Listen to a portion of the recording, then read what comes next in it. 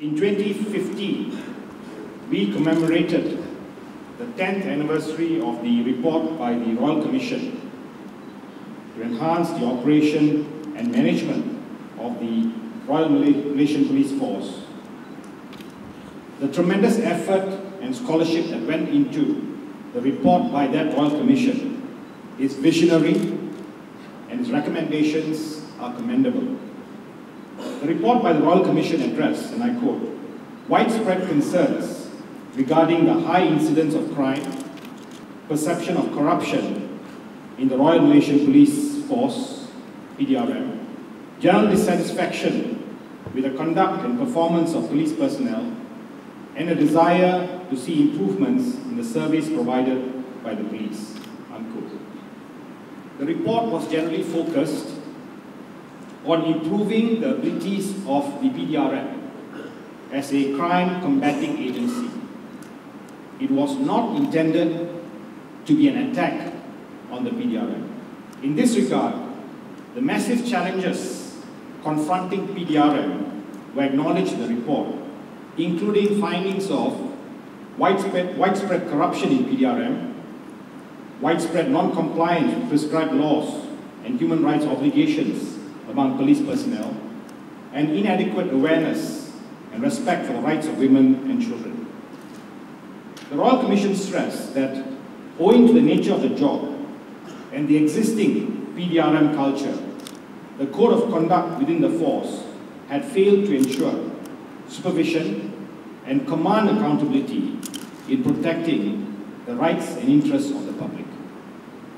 The preoccupation of being a force as opposed to a service was at the heart of these concerns. In addition, the Royal Commission also identified the mounting incidents of deaths in custody, as well as the failure of the PDRM to investigate these deaths and the refusal of the authorities to hold inquests into them. Deaths in police custody under questionable circumstances are reprehensible and our indictment of the PDRM as an enforcement agency. To address these challenges, Dr. Kuthubul Zaman has mentioned this, the Royal Commission made 125 specific recommendations and emphasized that internal oversight mechanism, the, the internal oversight mechanism in PDRM was, I quote, inadequate, unreliable, and frequently ineffective, unquote. The recommendations made by the Royal Commission were timely, far-reaching, and necessary to cure the systemic flaws in our policing system and to upgrade our police to a modern enforcement agency. One of the chief recommendations of the Royal Commission was the setting up of the Independent Police Complaints and Misconduct Commission, the IPCMC, an independent external commission tasked solely to receive and investigate complaints of misconduct and abuse against the PDRM. The Malaysian Bar today reiterates our call on the government to establish the IPCMC. This form of external oversight mechanism has been effective in meeting the challenges faced by the police force in other jurisdictions. It is seen as, a necessary, it is seen as necessary to enhance the ability of the PDRM to discharge their functions and to weed out the rogue elements within the force. In Malaysia, the IPCMC is particularly required given the continued and seemingly unabated occurrences of deaths in police custody and the other serious concerns over the conduct of the police. Ladies and gentlemen, following the recommendations of the Royal Commission, the government initially took steps towards setting up the IPCMC with overwhelming support from civil society. Regrettably, its implementation came to a halt in 2006 after the PDRM strongly objected to it and reportedly threatened to let crime rise, to resign en masse, and to vote for the opposition. Instead of reprimanding PDRM for these reports, the government relented and downplayed the importance of establishing the IPCMC.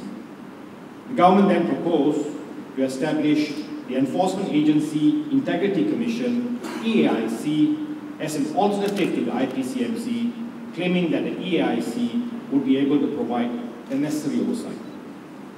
The EAIC's mission is to strengthen the service delivery system with integrity amongst the Malaysian enforcement agencies to the management of complaints and investigations in a transparent, bold, dutiful, and professional manner. The Enforcement Agency Integrity Commission Act of 2009, providing for the establishment of the EAIC, was passed by the Dewan Rakyat on the 1st of July 2009, four years after the IPCMC was first mooted. It took another 19 months for the EAIC to officially begin operating on the 1st of April 2011. Regrettably, the EAIC is a watered-down version of the IPCMC, and it would appear, the managed structure, the EAIC was in fact designed to fail. First, the EAIC is not wholly dedicated to receiving and investigating complaints of misconduct by the PDRM only. It has 19, it has about 19 different government agencies under its purview. The agencies include PDRM, which has over 112,000 personnel, including the special branch, Ikatan Relawan Rakyat Malaysia Rela, which has over 3 million members, and the Malaysian Road Transport Department, which has over 8,000 personnel. Thus, the EAIC's workload and focus is diverse, heavily, and unfortunately not specialized. In the recent supply bill table in the Dewan Rakyat in October 2015 by the Prime Minister, the EAIC's budget has been slashed by almost 40% from 7.7 million ringgit in 2015 to, uh, to uh, propose 4.8 million ringgit in 2016. Based on the EAIC staff directory access yesterday, the EAIC has only 74 staff, down 6 compared to November 2015, of which only 11 are investigating officers. These are, these are insufficient funding, and the manpower, given the depth and the breadth of its responsibilities, is woefully lacking. Lastly, the EAIC does not have any bite.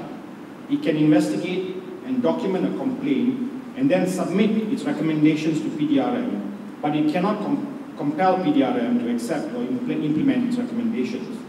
Furthermore, upon receiving the EAIC's recommendations, the PDRM's internal, internal discipline mechanism can ignore them and conduct its own investigations.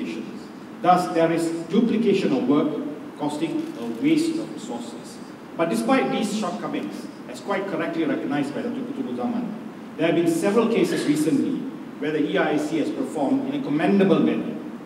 Uh, and I will come to that very shortly. Apart from the EAIC, there have also been reports of a proposal to establish an internal affairs division within PDRM after the Home Minister, Dr. Sri Dr. Dr. Ahmad Zahid Hamidi, visited the New York Police Department in 2014. An internal affairs division will lack the credibility and, and transparency of the external oversight by the IPCMC and will therefore be insufficient. In short, an internal oversight mechanism will not improve public perception of the PDRM nor invite public trust. Distinguished guests, today, the names of Kugan Anandan, P. Karunanidhi, and Dharmendran have become household names for all the wrong reasons. They have become part of the alarming statistics for deaths in public custody and a national gallery of shame for all of us. It is worrying that detainees in police custody continue to die under suspicious circumstances despite the matter having been repeatedly highlighted to the PDRM and the government. There has been an absence of full accountability on the part of PDRM and the government seems indifferent, largely indifferent, to the gravity of the problem. Statistics provided by the PDRM to the Human Rights Commission of Malaysia SUHAKAM indicate that there were a total of 255 deaths in police custody between the year 2000 and 2014. This translates to, on a broad basis, an average of 17 deaths in police custody per year, or an average of one death every three weeks. These appalling numbers of unexplained deaths are unacceptable. Suhakam noted that there were an additional four deaths in custody that were not reflected in PDRM statistics. And these are Syed Muhammad Azlan, Syed Muhammad Noor, who died in November 2014, less than 24 hours after being arrested by the police. 42-year-old P. Karunanidhi found dead, dead at the Tampin Police Station lockup on the 1st of June 2013. 39-year-old C. Sukumar, who died on the 23rd of January 2013 while in the process of being arrested by the police in Kajang. 47-year-old Chandran Perumal was found dead on the 10th of September 2012 after being detained for four days at the Dang Wangi police station lockup. According to Suaka, these four cases, three considered by the coroner's court and the other investigated by the EAIC, found, found that injuries were caused by the police and these injuries contributed to the deaths. It follows that there should be a clarification from PDRM as to why these four cases were not reflected in their count of the total number of deaths in, public custody, in police custody. It appears inexplicable for these cases to have been left out without any explanation. Further, PDRM statistics also indicate that out of the 255 cases 2000 in the years 2000 and 2014, 207 or 81% recorded were attributed to health factors. 30 cases or 11%, 11% were from self-hanging, two slipped and died in the bathroom, and two died from fighting with another inmate. Only two deaths in custody were attributed to misconduct by the police. The Inspector General of Police, Tan Khalid has attempted to explain away the severity of this problem of deaths in police custody, apparently reasoning that detainees who died were ill even before they were locked up. This is, with the greatest respect, hardly a credible justification, as the lockup rules 1953 provides that as far as possible, medical officers shall conduct a medical inspection of the prisoner on admission. Even when a medical inspection is not possible, police officers are always obliged to ensure the safety and well-being of the detainees. In August 2015, the Deputy Home Minister, Dr. Noor Jazlan Muhammad, downplayed the problem as well, stating that the proportion of deaths in police custody cases in the past 14 years is, I quote, very small, unquote, compared to the size of the police force that is 120,000 strong. The logic in that observation is difficult to comprehend and really escapes us. It can only be seen as apathy on the part of government to the damning state of affairs. Six days ago, on the 28th of April 2016, the EAIC released its investigation findings of its public inquiry into the custodial death of N. Damendra to determine whether his death was a result of any misconduct, and if so, what caused or allowed the misconduct to occur, and who is responsible for that misconduct. Dharmendran was detained on the 11th of May 2013 and died 10 days later while in police custody at the Kuala Police Contingent Headquarters on the 21st of May 2013. Four police officers have been arrested and charged with causing Dharmendran's death. Their case is proceeding in court. The EAIC found that Dharmendran's death in police custody resulted from the use of physical force by the police in violation of paragraph 33 of the IGP Standing Orders, Part A, 118, which prohibits the use of physical force against a detainee during interrogations. It also made findings on numerous fabrication, misrepresentation, and tampering of the lockup diary and police report regarding the death of Dharmendran by specified police officers. The EAIC stated that the offences may have been committed and the offences may have been committed under sections 177, 182, 192, 201, and or 203 of the Penal Code. The EAIC's chief recommendation was that disciplinary action be taken by the disciplinary authority of PDRM against the specified police officers for various acts of misconduct leading to the leading to and relating to the death of Dharmendran. It further emphasized that the recurrence of deaths in custody and the use of force against the detainee is quote, a serious violation of law and integrity and is deeply regretted, unquote. It is most disappointing that the IGP's response to the EAIC report has been to criticize the EAIC and its chairman, saying that the matter, I quote, should not be discussed outside of the court as it can cause prejudice and is sub subjudice to the case, unquote. We are all aware there are provisions in the EAIC Act of 2009 for the EAIC to have proceeded with the inquiry, and the criticism leveled against it is therefore misplaced. But the real issue is whether action will be taken against the other police personnel who have been implicated in the EAIC's report and who have not yet been charged. The ongoing criminal trial of the four accused persons is not an excuse for non-action, particularly in the face of the scathing findings made by the EAIC. The comments made by the EAIC to improve the system and the functioning of the PDRM should also be taken, should also be taken into account and implemented. Next, last year, in October 2015, 30th October 2015, the EAIC released its findings into the investigations on the custodial death of Syed Muhammad Azlan, bin Syed Muhammad Noor, Syed Azlan. The EAIC found that the death involved the use of physical force by the police officers who conducted the arrest and interrogation. The cause of death was blunt force trauma to the chest. The post-mortem also found that the deceased had sustained 61 different injuries to his face, body and both legs. Some of the injuries were consistent with injuries sustained when defending himself from physical force inflicted upon him by the police officers. Third, police officers had tampered with the evidence by taking the following action cleaning the scene of the incident before it was visited and inspected by the medical officer, destroying the rubber mat and carpet at the site of the deceased arrest that is believed to have been stained by his blood, and hiding the eyewitness who had, been, who had seen the arrest take place.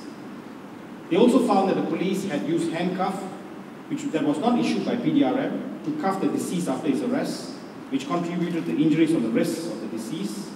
There had been serious breaches of the standard operating procedure of the PDRM, in relation to the procedure of the arrest and handling of the detainee. There was the element of conspiracy or abetment by PDRM officers to inflict del deliberate physical force upon the deceased, which resulted in injury and death. Such acts are offences under Section 203 and 325 of the Penal Code, read with, together with Section 34 of the Penal Code, or alternatively Section 107 of the Penal Code. Five days later, on the 4th of November 2015, the IGP pledged that any police personnel involved in the death in police custody of Syed Azlan would be brought to justice.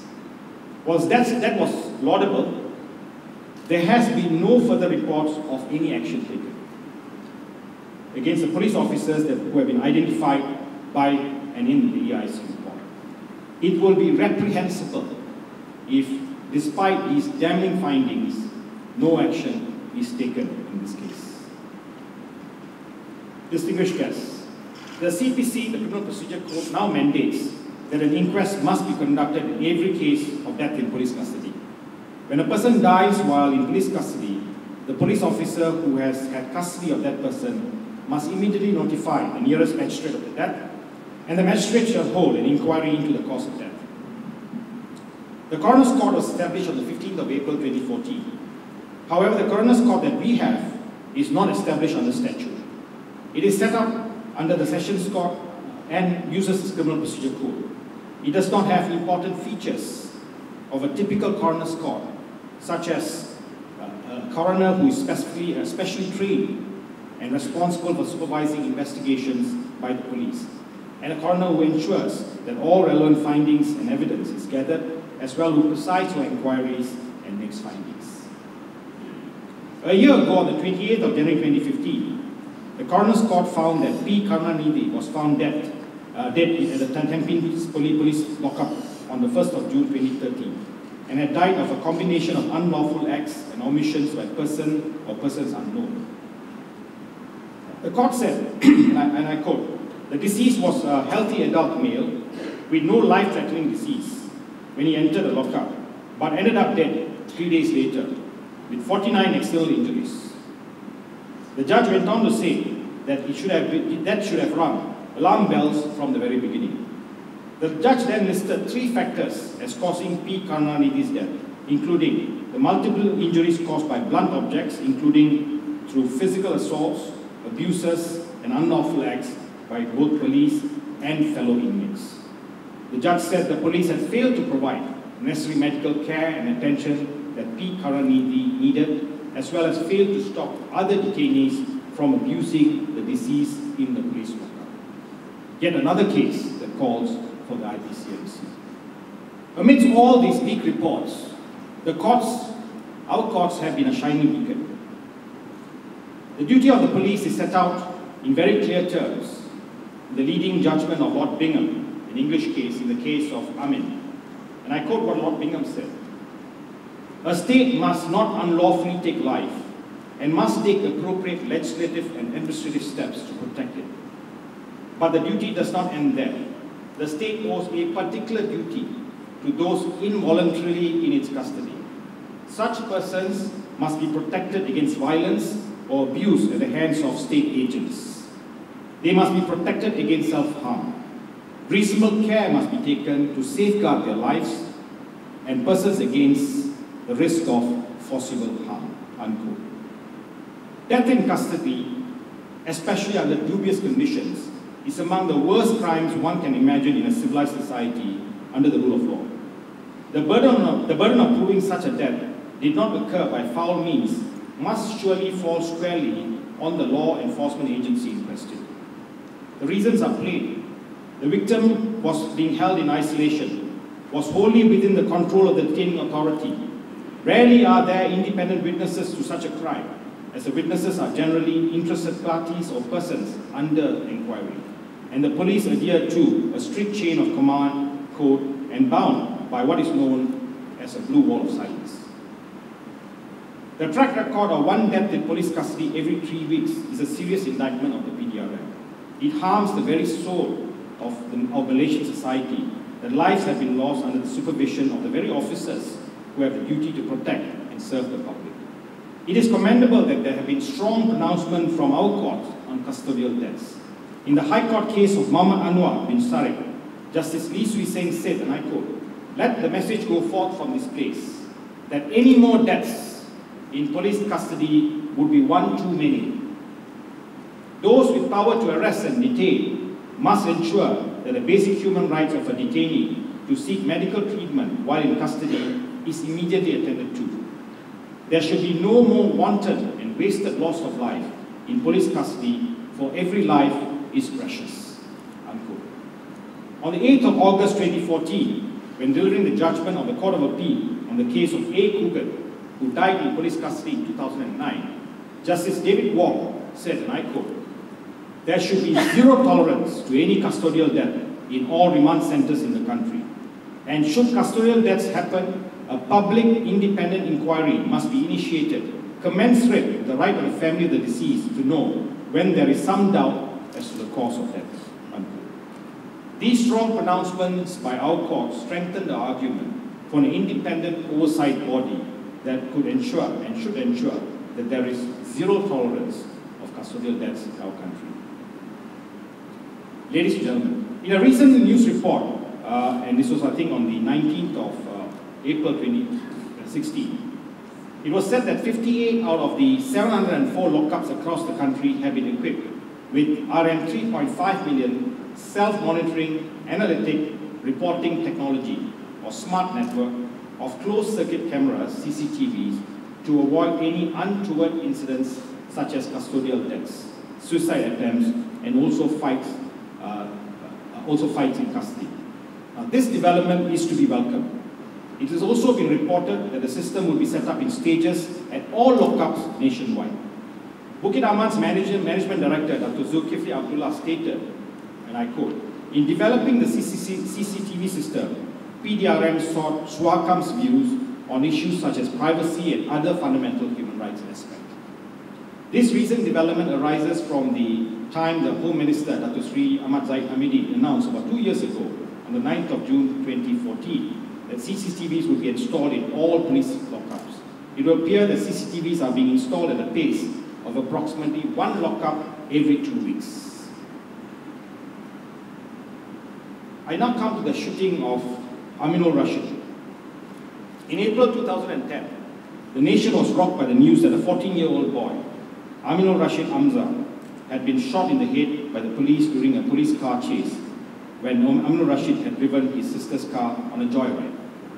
The police had fired 21 shots at the car when the car did not pose any threat to the public or the police officers in their patrol cars at the time, and without any knowledge of who the driver or any other possible occupants were.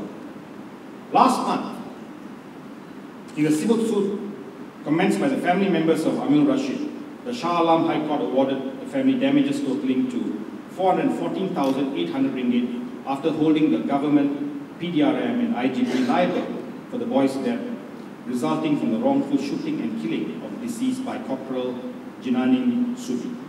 The court further allowed a claim for the tort of public misfeasance or misfeasance in office against the IGP and awarded 100,000 ringgit damages.